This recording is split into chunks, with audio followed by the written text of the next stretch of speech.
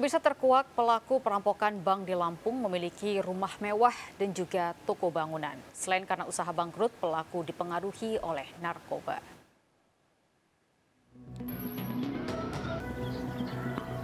Dari penelusuran berdasarkan data alamat pelaku, sebuah rumah mewah tiga lantai di kawasan Kelurahan Jakapaya, Wai Halim, Bandar Lampung diketahui milik pelaku perampokan bank berinisial HG.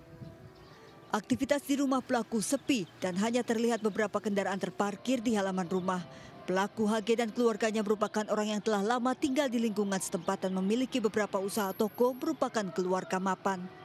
Namun pelaku HG dan keluarga tidak pernah bersosialisasi dengan warga dan terkesan menutup diri dan enggan bergaul dengan warga sekitar dia itu ada di sini gitu orang sini makanya bapak juga nggak kenal kalau dia itu memang orang sini karena artinya dia memang uh, nggak pernah bergaul nggak ada nggak ada kontraksi lagi dengan keluarga keluarga sini gitu hmm. maksudnya warga warga sini Pelaku HG merupakan eksekutor perampokan menggunakan dua pucuk senjata api di Bank Arta Kedaton Makmur yang melukai tiga korban.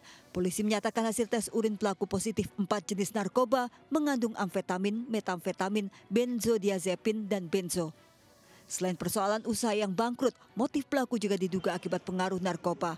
Polisi masih memburu dua pelaku lainnya. Dari Bandar Lampung, Provinsi Lampung, Andreas Avandi, iNews melaporkan.